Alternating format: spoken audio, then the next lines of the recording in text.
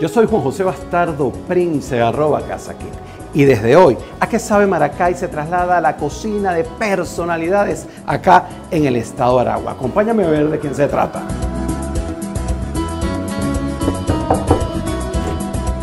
¡Ajá, señores! María. bienvenido, bienvenido. Hoy quiero bienvenido. cocinar en tu cocina, una de las cocinas más creativas de la ciudad de Maracay.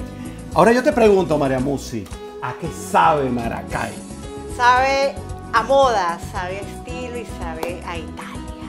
O sea, Sí. hoy en el atelier de María Musi, en esta cocina maravillosa, llena de vitrales, vamos a hacer un tributo a El Sole con una deliciosa pasta con mero. Acompáñenos.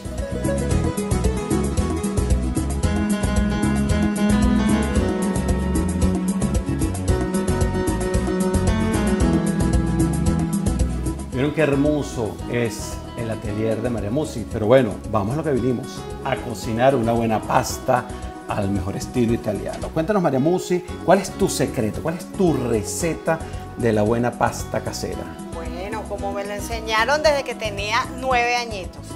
Cada 100 gramos de harina, un huevito y una pizca de sal. Y yo lo uso con tenedor para comenzar. Pizca de sal, huevito y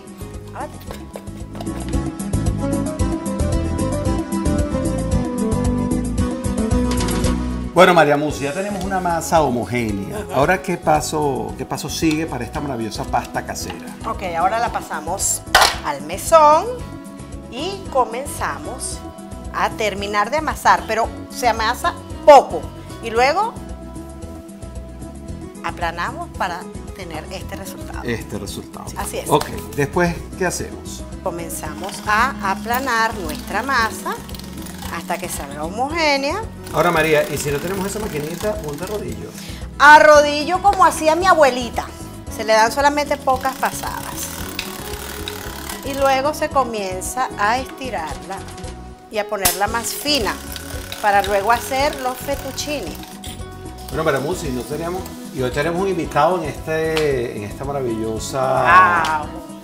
mañana y nuestros amigos de Punto Rosado, quienes me dijeron, yo quiero acompañarlos en esta mañana de moda y de buena gastronomía con este maravilloso Splash Punto Rosado. Muchísimas gracias. ¡Wow! A nuestros Gracias. amigos de Punto. Rosado, un oasis en Gracias. el Mercado Libre de Maracay.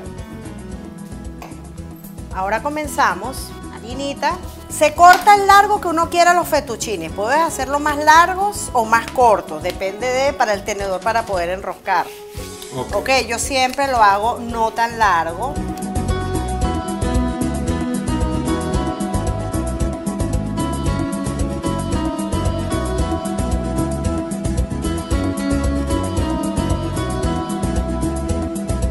Los fettuccini. Bye, María Musi. O sea, no solo aquí podemos hablar de alta costura, sino de muy buena gastronomía.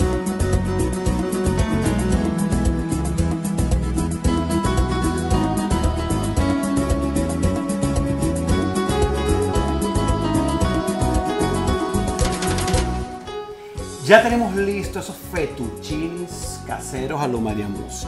Ahora háblanos de qué vamos a hacer nosotros ahora para acompañar esos fettuccines. Háblanos esa salsa maravillosa tuya.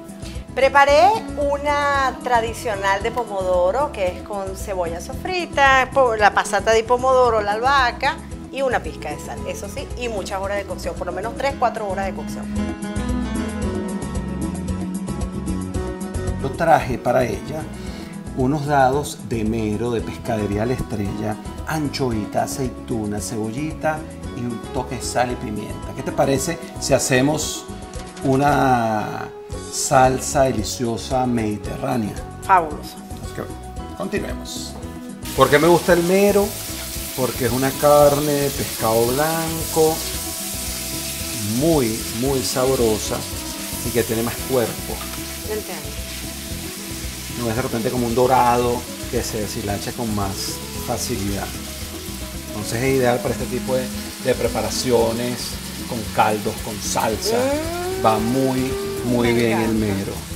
Ahora vamos a dejar un rato que los ingredientes se acoplen, bailen y nos Claro. regalen todas sus propiedades en esta maravillosa salsa que vamos a acompañar con esos.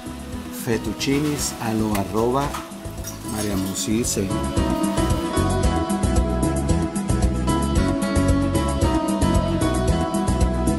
Y ahora sí, María Musi, sea usted Wow. quien corone esta pasta con esta rica salsa mediterránea que se pasea por esos sabores de Nápoles. Gracias María Musi por abrirnos las puertas de tu atelier, por vestirme y por preparar conmigo estos deliciosos fettuccinis, hechos con amor, hechos con ese ADN italiano que llevas dentro y que le regalas a la ciudad de Maracay. Así que bueno, Vamos a comer, que es la mejor parte de Maracay Brutal. Yo los invito a volar por Italia, a descubrir los sabores que hay detrás de un pozole mío. Ah, y recuerda, Maracay es brutal.